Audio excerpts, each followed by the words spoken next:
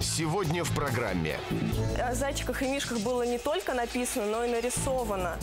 Понимаете, еще на моей фотографии было нарисовано сердце, а под сердцем кровь. Олеся Незванова собиралась замуж за англичанина.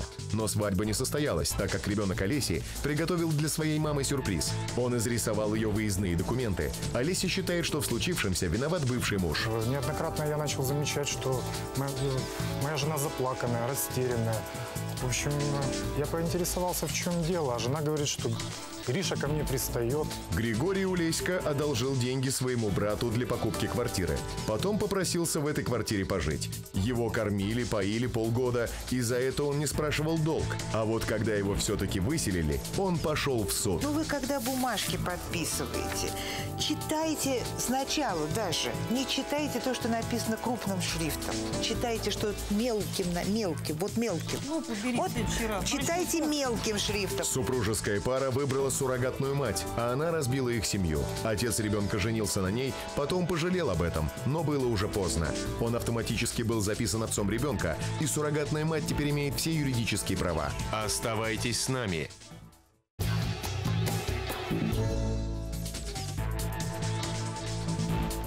Истец Олеся Незванова требует с бывшего мужа компенсацию материального ущерба в размере 230 тысяч рублей. Ответчик Олег Илюшин иск не признает. Здравствуйте, Ваша честь. А, Я требую денежную компенсацию от своего бывшего мужа в размере 230 тысяч рублей. А, В связи с тем, то, что в его квартире были испорчены мои документы, так как виза и загранпаспорт, в связи с чем я не смогла улететь в Англию. А, Документы были испорчены нашим ребенком. В этот день я приехала к бывшему мужу, оставила чемодан, так как я уезжать должна была от него. Вот. Ночью я приехала, забрала чемодан и поехала в аэропорт. Там я увидела следующую ситуацию. А, Мои документы были испорчены а, красным маркером. А, Там было нарисовано и написано то, что я должна была привезти своему сыну в подарок из Англии, а также зайчики, две футболки с надписями «Белый большой мишка» и так далее. Э, О зайчиках и мишках было не только написано, но и нарисовано. Понимаете, еще на моей фотографии было нарисовано сердце, а под сердцем кровь. Я когда это увидела, я чуть в обморок не упала. А, Сослуживцы аэропорта подавно. Именно поэтому я и не улетела в Англию. А, Вот, пожалуйста, документы То есть испорчены. ваш ущерб, вот эти 230 тысяч рублей, Да. это э, покрытие тех расходов, которые были Да, связаны покрытие с поездкой. расходов, да. А, билет, да, и, э, и на визу, как бы это 30 тысяч рублей и 200 тысяч рублей а, на основании того, то, что я потратила на свадьбу, так как я в Англию улетала на свою собственную свадьбу. А, то есть это те расходы, которые вы понесли э, там Да. по, по- по наряду невесты, если я правильно поняла? Да, наряд невесты, да, вот есть, пожалуйста, чек. А, Мое свадебное платье составило 18 тысяч рублей. Э, Смета на свадебные расходы. Здесь вот все документы есть. А, По крайней мере, мне кажется, то, что мой бывший муж, он хотя бы был свидетелем того, то, что ребенок испортил Я тебе говорю, я спал, я даже вообще Ответчик, ничего не ответчик, слышал. ответчик. Если я вас правильно поняла, э, то вы запланировали свою поездку, как вы утверждаете, на вашу свадьбу без ребенка. Да, без ребенка. Вы планировали оставить ребенка вместе с э, бывшим супругом? А, ну, мы развелись, да, живет. и на основании суда, да, ребенок остался вместе с бывшим А, мужем. понятно. То есть место жительства ребенка определено совместно с Да, папой. да, да. Суд Да. нам определил просто вот а, каждую субботу, каждую субботу моя бывшая супруга, бизнес-леди так называемая, она с нашим сыном сидит. И ребенок уже к этому привык. Можно я вообще все сейчас объясню здесь? Вот смотрите, у нас э, она улетала как бы в Лондон к своему жениху. Я не знаю, там в Англию, на ПМЖ. Но ребенка же нельзя бросать. Она тоже мать, и она должна как бы право, да, чувствовать за собой, то, что она мать и должна с ребенком находиться. Суд определил, что каждую субботу она должна являться и сидеть с ребенком. И ребенок уже к этому Нет, привык. ответчик, ответчик не должна, а имеет право. Ну, имеет право, да. Ну, Это существенно, Ну, потому вообще, что если да, вы как бы рассматриваете, что должна, то истец имеет право. Да. В эту субботу, вот тогда, когда она э, к нам пришла, она должна была сидеть с Алешкой. Ему 6 лет, он маленький. Алешка уже привык к этому, к ее визитам субботним. То, что он всегда вставал утром, зубы чистил, там, ну, уже готовился, да, то есть к встрече с мамой, так называемой Ну, Я мамой. всегда приходила, Да ладно, да. всегда, все, спокойно. Вот. А в этот день он встал, то есть целый день я вижу, он неспокоен. Мамы нет и нет, нет и нет.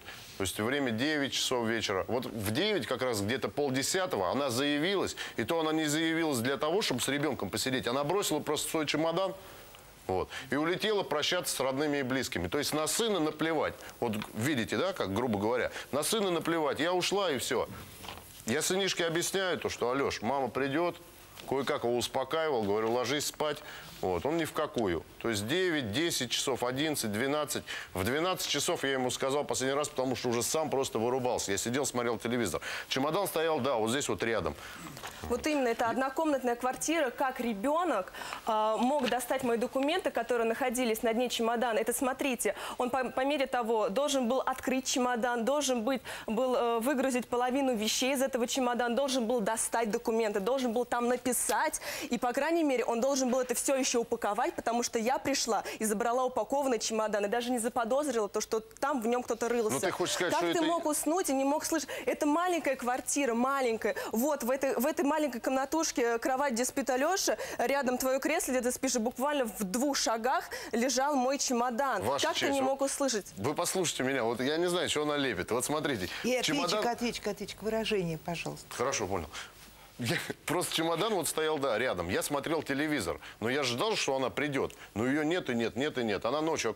А перед этим я просто сыну сказал. Я говорю, Алеш, ты маме напиши, что тебе надо привезти. Но он, я помню, там фотоаппарат нужен был, там зайчик, две маечки с надписями. Он это все хотел, чтобы за границей ему мама привезла.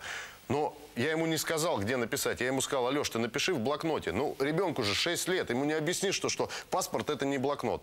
Правильно? И он, может быть, я просто не видел, он, может быть, колдовал над чемоданом над этим, достал ее там документы и написал. Но мне, это взрослому человеку, зачем это все делать? Олег, у тебя Вот. был мотив. У тебя по-любому был мотив. Понимаете, мужчины, они как Ты хочешь сказать, что собственники я по тебе натуре. назло что сделал? Да, ты сделал мне ладно. на зло. Мужчины, они собственники по натуре. Ты не хотел, чтобы я летела в Англию, не хотел. А я тогда летела на свою собственную свадьбу. И какая теперь у меня репутация? Перед своим будущим мужем. Приехала на свадьбу вся родня. Люди многие приехали не только из Англии, они из Америки еще прилетели. А невеста, как торжество, на которое все должны были э, прийти посмотреть, не явилась. А вы планировали, э, если бы вы попали на свадьбу, а, вы планировали там остаться в Англии? Вы не планировали возвращаться? Так собралась она на ПМЖ. Подождите, Можно я ответчик, отвечу? ответчик. Я была намерена уехать в Англию на постоянное место жительства, но приезжать хотя бы, не знаю, хотя бы раз в 2-3 месяца к своему сыну. Я же знаю, Два-три там- месяца? Так он со скуки помрет. У него же должна быть мама, правильно? Это же должна являться вообще каждую вот субботу. ответ- должен быть отец. ответчик, ответчик, скажите, пожалуйста, в момент расторжения брака, когда э, выносилось решение об определении места жительства ребенка, Так. был спор между вами или ваша бывшая супруга сразу дала согласие, что ребенок будет жить с вами? Да, она сразу дала согласие, дала как бы, что... Нет, был спор. Она Ты сразу... у меня ребенка просто выдирал зубами. Ты просто хотел, чтобы он остался именно у тебя. Неужели я бы с тобой его в Англию отпустил бы? Так, Отпустил? ответчик, Нет. у вас есть решение суда? Мне свидетельство о расторжении Да, брака вот. и решение... Оставайтесь на месте, пожалуйста. Э, свидетельство о расторжении брака и решение суда по определению места жительства ребенка. Свидетельство о рождении нужно? Да, Вот. да. Мгм. Так, а, значит, 30, и, пожалуйста, у истца, э, значит, 30 тысяч рублей – это билеты. А скажите, пожалуйста, истец, а что, ваш будущий жених вам не прислал деньги на покрытие этих расходов? Ну, понимаете, Вы самостоятельно несли все Да расходы? она бедняка там, по- Подождите, ответчик, ответчик, ну, ответчик. Понимаете, мы просто решили как бы нашу свадьбу разделить напополам. Именно как бы моя половина состояла из 200 тысяч рублей. И в эту сумму входило мое свадебное платье. Что это за свадьба за 200 тысяч рублей в Лондоне? Вот я не, я не могу Нет, вот мы этого про понять. платье сейчас говорим, ответчик, про А, платье. про платье. Так, Я же молчу про нашу хочу свадьбу. зайчика, мишку и футболку с надписями. Фотоаппарат Хочу ослика, блокнот и фотоаппарат. Сколько ребенку лет? Шесть. Шесть. Ну, удивительно грамотный ребенок, какой молодец. Не, ну растет хорошим. Жуком. Как будто бы под диктовку даже что-то там писали. Так, и сердечко. Ты ж сама его научила рисовать. Подождите, ответчик. И сердечко нарисованное. Ну да. О любви, да, я правильно понимаю? Значит, вы утверждаете, что это ответчик, что вы считаете, что ответчик сам открыл чемодан, нашла- нашел паспорт и уговорил ребенка вот это все написать. А, знаете, ну, я не утверждаю, но я также и не исключаю, что Нет, он мог это а зачем? Вот я просто хочу понять, почему. Потому что, ну хорошо, ну вот случилось, вы обратитесь в эм, посольство Великобритании, ваш жених еще раз, так сказать, там, пришлет обоснованное приглашение, э, вам, ну, наверное, учитывая там свадебные торжества, вам побыстрее оформят новый паспорт, выдадут визу, и вы улетите. Вот смысл того, что делает ответчик, он какой? Месяц позже, месяц раньше, какая тебе разница? Все равно полетишь к своему этому Какая мне разница? Бе- к, бед- к бедняку к этому. Ответчик, себя ответчик, ответчик. Так, суд удаляется для, принятия решения. Далее в программе. Неоднократно я начал замечать, что моя, моя жена заплаканная, растерянная. В общем, я поинтересовался, в чем дело, а жена говорит, что Гриша ко мне пристает. Если дал кому-то в долг деньги, то можешь спокойно приехать и поселиться у этого человека. Так, наверное, думал Григорий Улеська.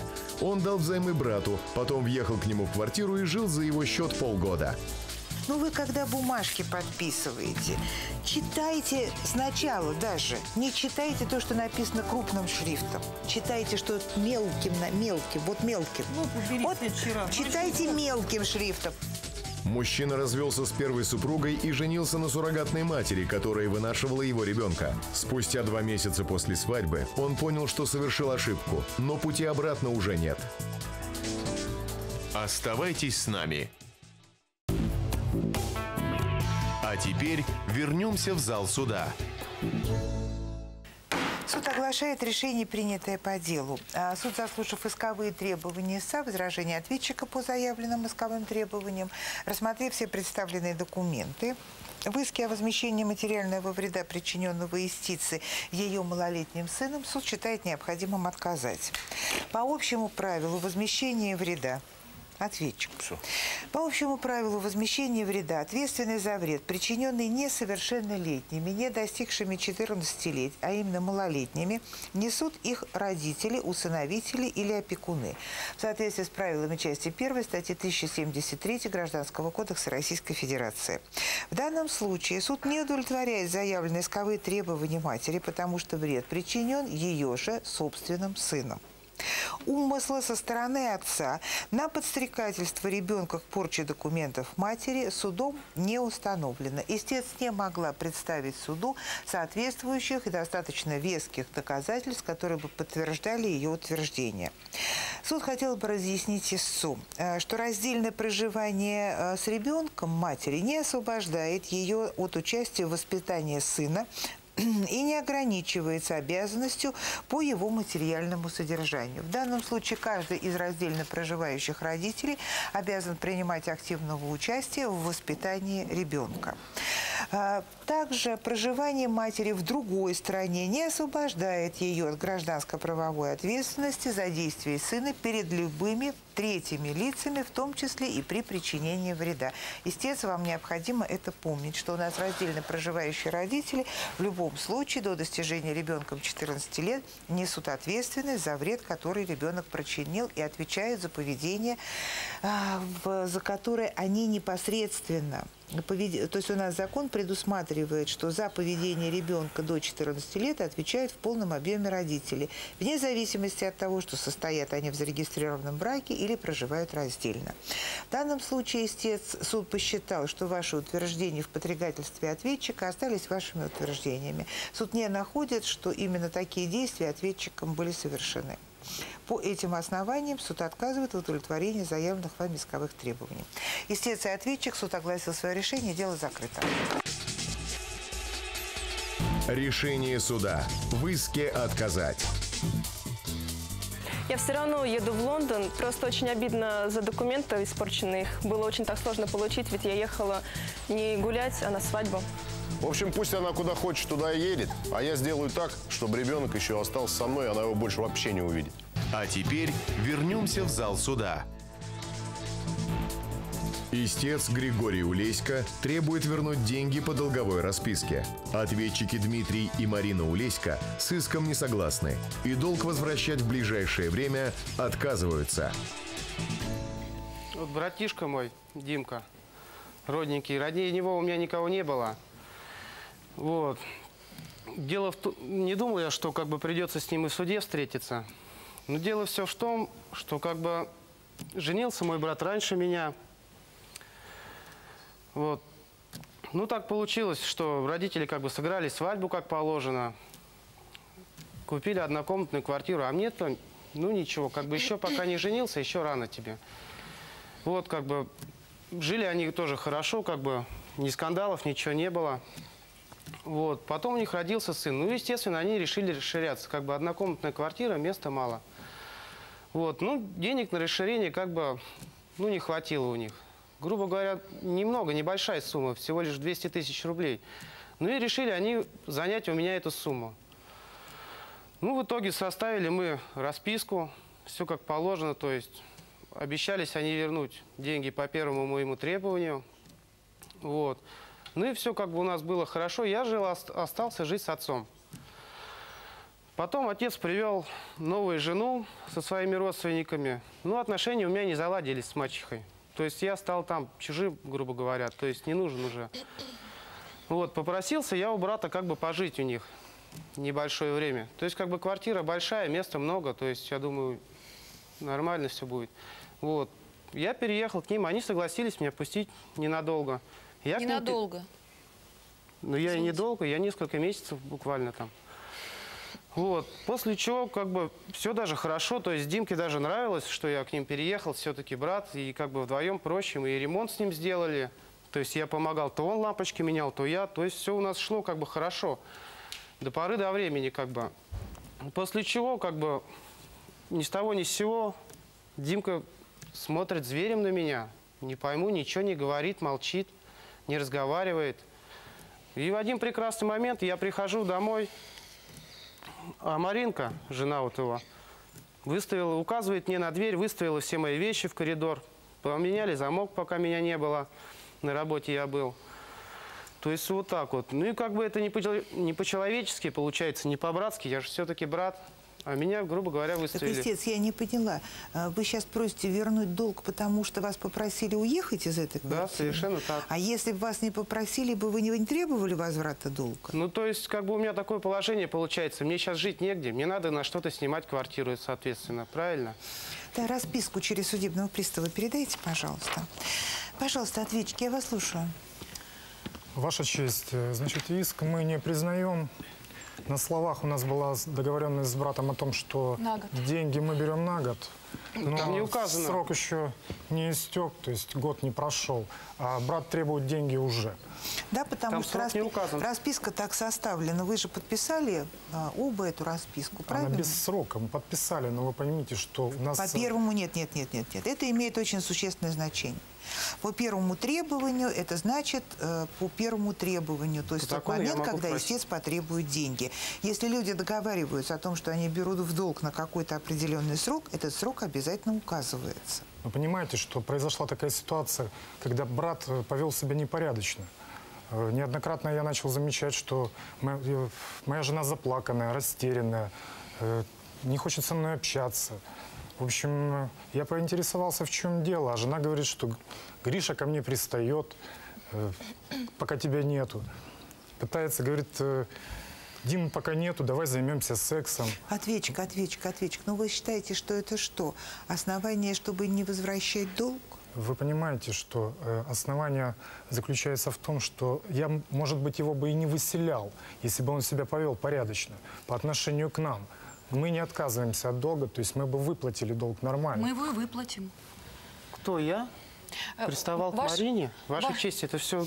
Естественно, не- суд не будет это учитывать, потому что это не основание для того, чтобы, э, понимаете, там, не выполнять долговые обязательства. Ваша ну, ответчик я привел свой аргумент, тот, который он считает необходимым привести. Да, можно я э, теперь объясню? Да, пожалуйста. Ну, в данном случае ситуация немножко другая. Дело в том, что он попросил пожить у нас две недели, ну, максимум месяц.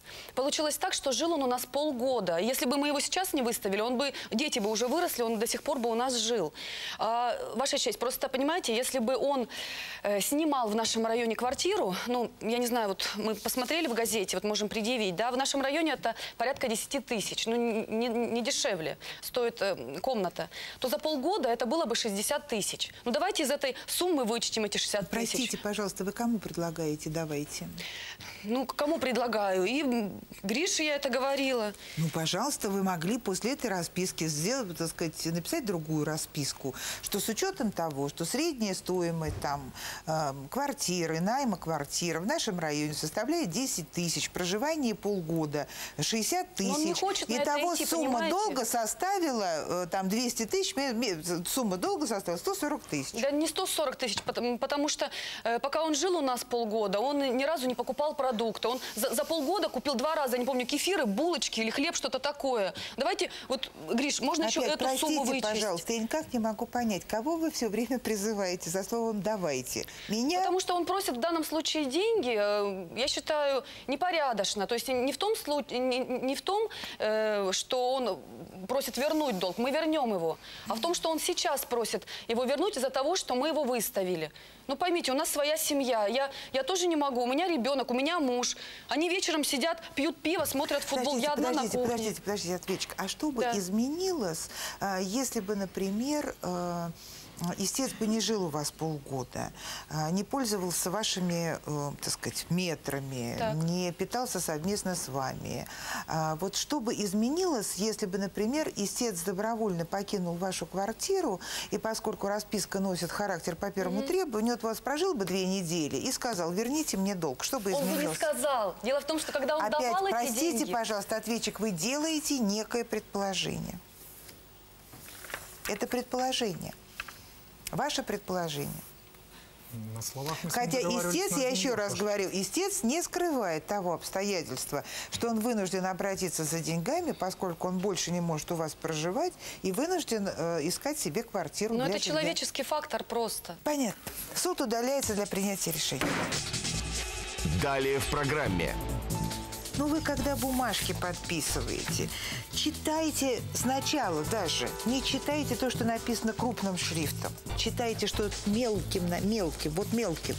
вот читайте мелким шрифтом. Супружеская пара выбрала суррогатную мать, а она разбила их семью. Отец ребенка женился на ней, потом пожалел об этом, но было уже поздно. Он автоматически был записан отцом ребенка, и суррогатная мать теперь имеет все юридические права.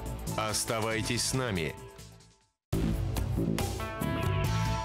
А теперь вернемся в зал суда. Суд оглашает решение, принятое по делу. А Суд, заслушав исковые требования истца, возражения ответчиков по заявленным исковым требованиям, рассмотрев представленные доказательства, заявленные исковые требования удовлетворяет и выносит решение о взыскании с ответчиков в пользу истца денежных средств в размере 200 тысяч рублей. Суд удовлетворяет в полном объеме заявленные исковые требования и взыскивает э, с ответчиков э, в пользу истца требуемую денежную сумму, потому что суду представлены необходимые доказательства наличия долговых отношений, а именно собственноручно написанная и подписанная ответчиками расписка о получении ими от истца денежных средств. В данном случае э, Указанная расписка полностью соответствует требованиям статьи э, 808 Гражданского кодекса Российской Федерации и ответчиками написание указанной расписки подлинность подписи в данном судебном заседании не оспаривались. Сумма долга не может быть уменьшена, исходя из обстоятельств жизни истца и ответчика, а также ранее достигнутых ими каких-либо устных договоренностей. договора аренды указанной комнаты, либо договора оказания услуг между истцом и ответчиками достигнуто не было и суду также не было представлено, из чего суд может сделать вывод о том, что предоставление жилья и питания производилось ответчиками на безвозмездной основе. Поскольку срок возврата денег в договоре займа, а именно по долговой расписке, сторонами не указан, а, то истец имеет право в любой момент потребовать возврата указанной суммы долга, что истцом было произведено. В данном случае ответчики, к сожалению, не воспользовались э, такими вашими правами, которые у вас были, а именно попытаться, э, ну, так сказать, ссылаясь на определенные аргументы вашего материального обеспечения, то есть необходимо было представить ваши расходы, ваш совокупный семейный доход, просить суд э, у рассрочки исполнения данного долгового обязательства. И, ну, по крайней мере, мне так показалось, что истец, наверное, э, смог бы пойти вам навстречу, и суд мог бы утвердить мировое соглашение о том, что указанная сумма долга будет там определенными равными частями погашаться в течение определенного времени. К сожалению, ответчики, вы своим таким правом не воспользовались. Вы просто очень жестко встали на ту аргументацию, что вот истец у вас жил, питался вместе с вами, поэтому вот он должен, исходя из каких-то определенных родственных отношений, ну, будем так говорить своими словами, простить указанную сумму долга. Исходя из совокупности изложенных обстоятельств по делу, суд считает, что э, у суда есть все основания для того, чтобы удовлетворить заявленные исковые требования в полном объеме.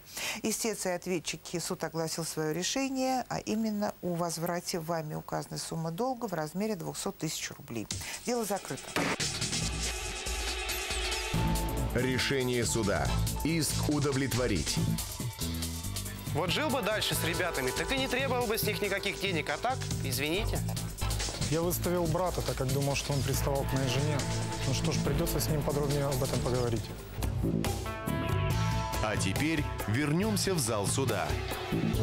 Истец Анна Фирсова просит выделить ее ребенку алименты в размере 1 четвертой всех доходов отца и определить алименты на свое содержание до достижения ребенком трех лет в сумме 10 тысяч рублей ежемесячно. Ответчик Юрий Фирсов иск не признает. Пожалуйста, истец, обоснуйте ваши исковые требования. Ваша честь, дело в том, что я требую алименты с мужем на содержание себя и ребенка. Понимаете, в чем дело? Мы с ответчиком состоим э, в зарегистрированном браке. Э, правда, в данный момент мы не живем вместе. Просто э, дело в том, что Юра ушел к своей первой жене. Э, такая ситуация какая-то сложилась э, непонятная мне, потому что у нас с ним общий ребенок полуторамесячный. Он вдруг э, уходит к бывшей жене. Я не понимаю, что происходит. Мне фактически просто не на что жить и нечем кормить ребенка. Он отказывается платить элементы, он отказывается просто хотя бы какие-то деньги давать. И поэтому я вынуждена вот прибегнуть к таким мерам, добиться алиментов на содержание ребенка в размере одной четверти его доходов. И я знаю, что его зарплата 52 тысячи рублей. Соответственно, это 13 тысяч. И э, 10 тысяч я прошу на содержание меня, как э, матери, которая воспитывает ребенка до достижения трехлетнего возраста. Итого получается 23 тысячи. Вот э, приходится этих денег требовать через суд. Если скажите, пожалуйста, а ответчик не обращался э, с, э, к вам с просьбой, например, или с требованиями о расторжении брака? Ну, о расторжении брака он э, пробовал, да, даже суд был, но дело в том, что до достижения ребенка э, годовалого возраста не может Без быть. вашего согласия Да. брак не может быть расторгнут. Да, я не хочу разводиться с мужем, понимаете, я люблю его, у нас ребенок общий. Я не понимаю, просто, что Понятно. происходит. Будьте добры, пожалуйста, мне необходимо свидетельство о заключении брака и свидетельство о рождении Да, ребенка. конечно, вот Через судебного пристава передайте, пожалуйста. А, пожалуйста, ответчик, я вас слушаю. Ваша честь. Не собираюсь я никаких элементов платить этой женщине. Все это какое-то большое недоразумение. И Аня, и этот брак, и теперь вот эти элементы. Ну, не так все это было. Во-первых, начнем с того, что она вообще не мать этому ребенку. Ну как это не мать, если по всем Да так, документам не я мать. мать, ты Ваша отец, я честь, мать. Мы со своей первой женой нашли эту женщину для того, чтобы она исполняла роль суррогатной матери для нашего ребенка. У меня взяли клетку, и уже моей первой жены взяли клетку, и подсадили ей эмбрион, который она вырастила. За время беременности, ну, мы за ней ухаживали, каждый день мы виделись, общались между собой. И я как-то проникся к Ань-. Ну, у меня случился такой какой-то роман с ней, вот. И она сразу тут стала меня шантажировать, давить на меня о том, что правильно, это твой ребенок и мой ребенок. Вот. И я поддался на ее вот эти все уговоры, развелся со своей первой женой. И женился на ней. Понимаете, ваша честь. И сейчас э, при э, рождении этого ребенка я официально уже э, являюсь законным отцом этого ребенка. Но она-то не является матерью этого ребенка. Ну как это Ваша не честь. являюсь? Простите, пожалуйста, э, в свидетельстве о рождении кто указан мамой? Свидетельстве о рождении, но она, и- она, в общем-то, и мать, но она суррогатная мать. Вы поймите, у нас есть договор с ней заключенный о суррогатном материнстве. Ваша честь, я вот Она тоже должна была не понимаю. отдать своего этого, не- этого Ответчик, ребенка. ответчик не отдала? Нет, она не отдала. Она стала этим самым Куда шантажировать отдавать? меня и э, мою жену. И получается так, что она теперь требует элементов. Но э, получается, что она не является матерью этого ребенка, она не имеет на него ответчик, простите, прав. пожалуйста, это у вас получается. Вы знаете, все время мне говорят, получается. Это у вас только получается, а у меня никак не получается. У меня в свидетельстве о рождении истец мама, вы отец. Ваша честь, ну вот есть договор о суррогатном материнстве. Простите, истец Где она отказал. не является биологической матерью Истец этого ребенка. отказал, а юридически является? И юридически она не имеет никаких Каким прав. образом? про- э, А, подождите, подождите, ребенок. истец. А почему вы считаете, что истец юридических прав не имеет? Вот поясните мне, пожалуйста. Ну, потому что она является не э, настоящей матерью, а всего лишь контейнером для того, чтобы этот ребенок э, Ответчик, вырос до истец 9 месяцев. отказалась после рождения ребенка вам его отдавать? Отказалась? Она отказалась, да. Она отказалась от того, чтобы отдать ребенка, и отказалась от э, того гонорара, который указан в договоре. Это ее право. Читайте внимательно договор. Ваша честь, в договоре, когда мы составили договор, все было нормально. Она э, хитростью и обманом просто Хорошо, ответчик, завладела- если вы не хотите читать договор, то я хотела бы вам разъяснить, что договор, конечно, можно написать э, так, как хочется. Вот не хочется так его написать, я его напишу.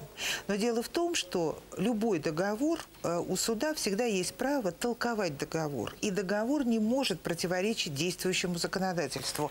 У нас действующее законодательство предусматривает возможность суррогатной мамы отказаться от исполнения договора, а именно отказаться э, от того, чтобы после рождения отдать ребенка. В, этом, в, это, в этой ситуации истец по ее желанию становится юридической мамой.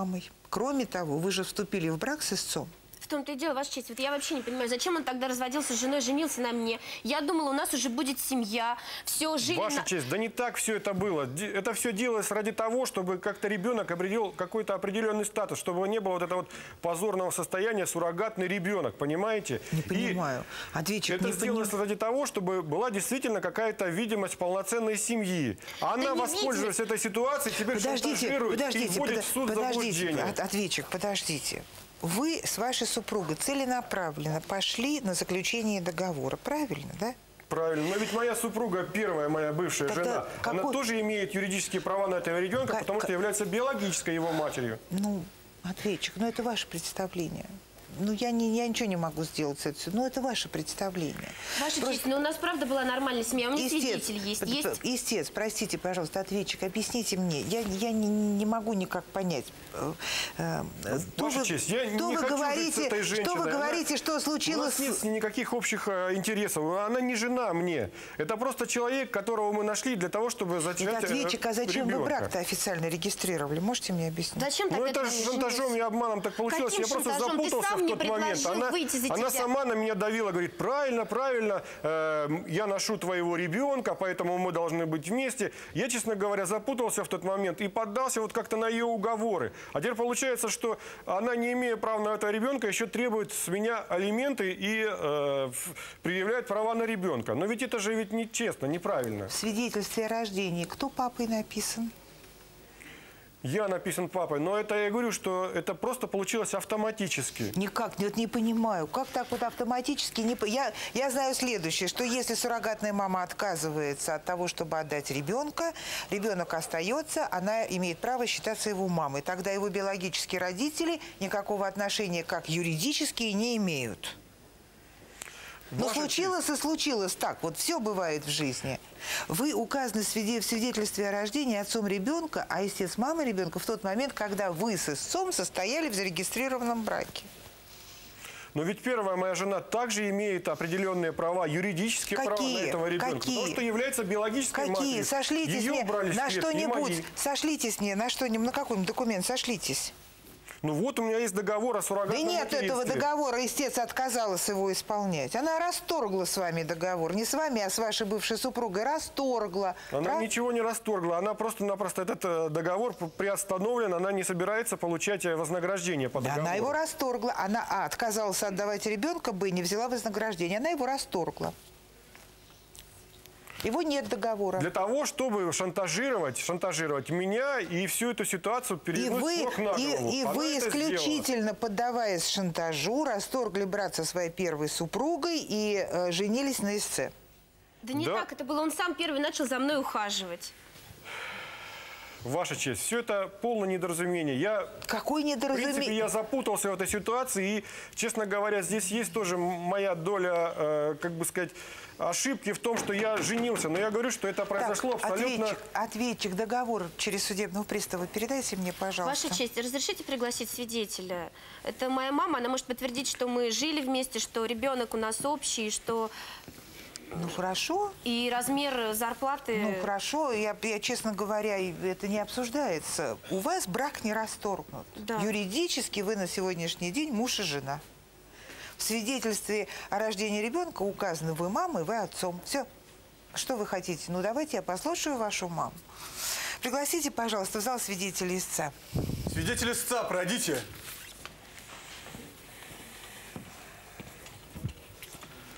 Вот пришла с чемоданом с твоим. Здравствуйте, Ваша честь. Марченко Зинаида Федоровна, это моя дочка, Анечка. Приехали из ЗАГСа, была свадьба. Жили, каждый месяц он приносил деньги, 52 тысячи, отдавал Анечке. Анечка показывала мне, я считал вместе с ней. Я врать не буду. Я уже старый человек, мне уже стыдно. Проходит какое-то время. Да какое время? Два месяца мы тут... И то, как я жил. Не я два, просто Юра. приходил, уходил. Ваша Это- честь пусть не обманывает. Больше прошло. Прожили. Теперь он уходит, к, я не знаю, к какой жене. И это каждую ночь плачет. Я принесла его вещи, пусть он заберет, Подождите, подождите до убирается, и пусть нам выплатит Истец. алименты. Истец. Да какие алименты?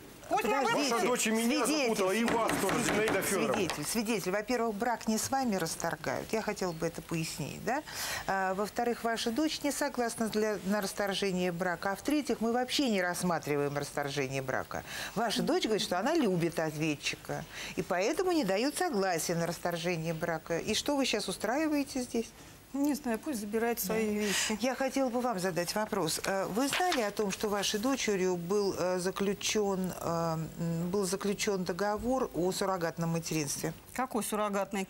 Вот видите, ваша Что это честь. такое? Подождите, тоже дела ответь. служили. Честь, это что такой суррогатный? И что он еще придумал? Нет, Мам, он это ничего не придумал. история, Тут я стоит подпись вашей дочери. Где? И, и Что она... какой, что, чего я, почему я не знаю? Свидетель, свидетель, свидетель. Ваша дочь не отрицает этого обстоятельства, что она заключила д- договор, и она должна был- была выступить суррогатной матерью. Какой суррогатный, если они расписались Всё, и мам, жили... успо- мам, успокойся, пожалуйста, я тебе потом все расскажу. Ваша честь, я не понимаю. Объясните мне, я тупая, я деревенская простая Да женщина. что, ваша дочь не является матерью этого ребенка. Почему я да не не, знаю? не является Ребенку- она нет, его. ребенку Она как полтора, контейнер полтора для вынашивания Ваша честь, ребенку беременности. полтора месяца. Я его холила, Давидика холила. Он бабушку только Мам, знает. Их он видит только вечером. Ну, как вам попроще объяснить? Вот, э, потому что тут вообще д- даже ну, ваши- слова написаны такие, которые я тоже, я где-то понимаю, Она но, не могла, но до не конца могла. не берусь, Она не вам могла. чет- не, не берусь вам четко объяснить, потому что очень много медицинских терминов. А Суррогатное материнство означает, что ваша дочь выносила биологически дру- чужого ребенка. Мы. Биологически Она не она не мать является его да он матерью. мне стал родной, это я его люблю как это не родного. обсуждается. Я сейчас вашей маме пытаюсь объяснить. Ваша честь, а, интересно, а кого же я тогда? Чу- это что, чужой ребенок, что ли? Юра, объясни. Юра, Конечно, это объясни. не Я- ее я ребенок, это бабушка. ребенок моей первой Ваша жены честь, и мой. полтора месяца, Она я его нянчила, интересно, они что, Мама. приходили вечером? Нет, это И что такое? шантажирует всех. Ваша честь. А это чем что, я шантаж? остаюсь и без зятя, и без внука? пожалуйста.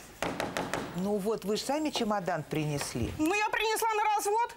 У них же официально они расписались, Нет, они жили, них- они, нет, они нет. жили на моей квартире. Нет, свидетель, свидетель, свидетель, мы не, не- мы не рассматриваем расторжение брака, вообще не рассматриваем. Истец, ваша дочь, не обращалась с этими Хорошо, требованиями. ну все равно пусть забирает, он ними равно живет. пусть забирает. Он пусть забирает свои вещи, не хочу я даже видеть Ей его. много раз предлагал расторгнуть брак, потому что, ну, не муж и жена мы, ваша честь. И она и с этим пошла тоже в суд. Суд отказал в расторжении брака, потому что э, ребенку не было еще Да, года. конечно, истец имеет право до достижения ребенком года. Если она не дает согласия, брак не расторгнут. Это делается в интересах защиты ребенка Пусть исключительно. Так она бы отдала в интересах защиты ребенка, отдала этого ребенка настоящим его родителям. И жила бы себе спокойно. Ответчик, ну ответчик, ну вы когда бумажки подписываете, ну вы когда бумажки подписываете, читайте сначала даже, не читайте то, что написано крупным шрифтом. Читайте, что мелким, на мелким, вот мелким. В вот читайте большой мелким шрифтом. Потом переворачивайте на другую сторону и там читайте. Вторую лупу бери. Ну, я думал, что мы обо всем договорились. Ваша и изначально все было хорошо и гладко. Суд удаляется для принятия решения. А теперь вернемся в зал суда и узнаем решение судьи. Суд оглашает решение, принятое по делу. Суд, заслушав исковые требования ИСА, возражения ответчика по заявленным исковым требованиям, а также опросив свидетеля со стороны ИСА и рассмотрев все представленные документы, заявленные исковые требования суд считает необходимым удовлетворить. И взыскивает с ответчика в пользу истицы на содержание несовершеннолетнего ребенка алименты в размере 1 четвертой всех видов заработка и иного дохода ежемесячно до совершеннолетия ребенка. Суд взыскивает с ответчика алименты на содержание истицы в однократном размере минимальной оплаты труда ежемесячно до достижения ребенком трех лет. Суд взыскивает с ответчика алименты на содержание несовершеннолетнего ребенка, отцом которого он является, потому что родители обязаны содержать своих несовершеннолетних детей.